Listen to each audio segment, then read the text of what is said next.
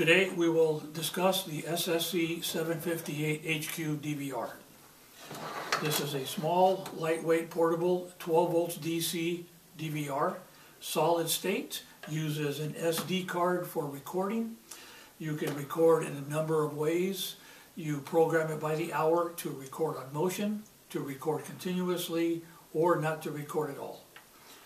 It comes with a number of accessories, uh, quite a few fittings, so it will accommodate just about any camera or cabling.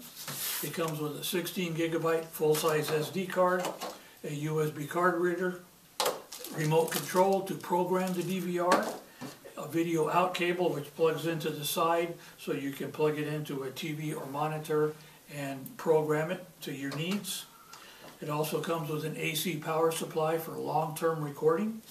And since it is a 12 volt DVR, you can use a battery pack, uh, any, basically any 12 volts DC battery for portable recording if you're out in the field somewhere doing remote recording. Thank you.